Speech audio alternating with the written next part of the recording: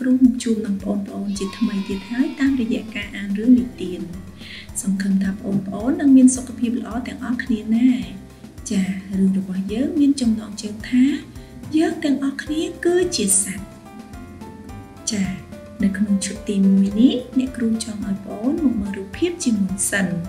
តើបងបានឃើញសត្វអ្វីខ្លះនៅក្នុងរូបភាពឈុតទី1របស់យើង ចាគឺមានសត្វសេកសត្វតោ ក្មេងស្រី ក្រពើចានិងមានសត្វជាច្រើនទៀតដែលបងប្អូនទាំងអស់គ្នាសិក្សាតែស្គាល់ទាំងអស់គ្នាចាយើងទៅបន្តនៅឈុតទី2របស់យើងមើលមកខ្ញុំមកសត្វទាំងអស់គ្នាខ្ញុំគឺជាមនុស្សខ្ញុំដឹងគ្រប់យ៉ាងទាំងអស់មើលណែនេះជាភ្នែករបស់ខ្ញុំខ្ញុំអាចមើលឃើញអ្វីៗគ្រប់យ៉ាងដោយសារពួកវាចុះយ៉ាងម៉េចពួកយើងក៏មានភ្នែកដែរ ហើយយើងអាចមើលឃើញនៅពេលងងឹតទៀតផងណាហើយចោះប៉ុន្តែមើលច្រមុះខ្ញុំអ្នកខ្ញុំអាចដកដង្ហើមតាមច្រមុះខ្ញុំបានណាចុះយ៉ាងម៉េចពួកយើងក៏មានច្រមុះដែរហើយច្រមុះយើងស្អាតជាងច្រមុះឯងទៅទៀត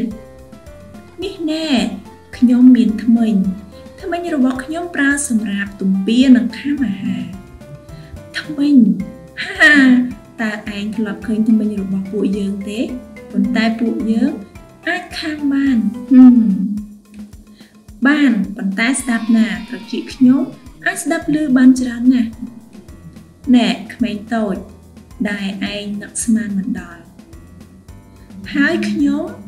ក៏អាចដើររត់នឹងរាំបានដែរជាមួយនឹងជើងរបស់ខ្ញុំអូហូយើងមានជើងដល់ទៅ4ហើយណោះ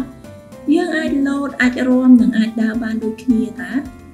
ខ្ញុំអាចក្រងសក់បានអូសក់របស់ពួកយើងក៏ស្រស់ស្អាតដែរពួកយើងក៏អាចក្រងសក់បានដែរ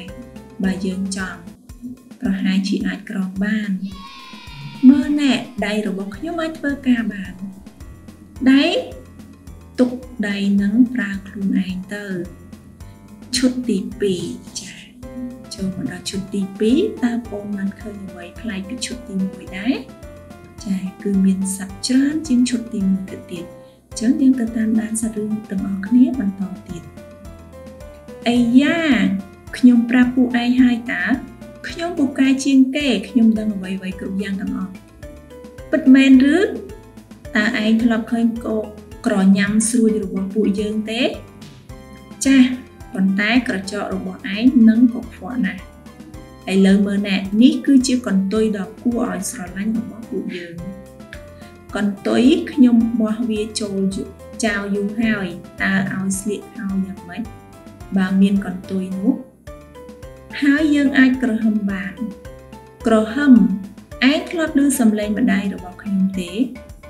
បើនិយាយទៅឯងទាំងអស់គ្នាគ្រាន់តែជាសត្វប៉ុណ្ណោះខ្ញុំដឹងហើយយើងក៏ដឹងដែរថាមនុស្សក៏ជាសត្វដែរ ពួកឯងប្រហែលជានិយាយត្រូវហើយមើលបងប្រុសខ្ញុំណែម្ដាយខ្ញុំនិយាយថាគេរពឹងណាស់គេពិតជាសត្វមែនហើយត្រូវហើយឯងក៏ដូចគ្នាដែរជឿយើងទៅយើងទាំងអស់គ្នាសុទ្ធតែជាសត្វដូចតែគ្នាទេកន្លែងនេះជាផ្ទះរបស់យើងទាំងអស់គ្នានឹងចារឿងរបស់យើងក៏បានមកដល់ទីបញ្ចប់រឿងនិទាននេះនាំមកជូនដោយអង្គការ SA Action និងសាលា I Live អន្តរជាតិ ជួបគ្នាពេលក្រោយៗទៀតបាយបាយ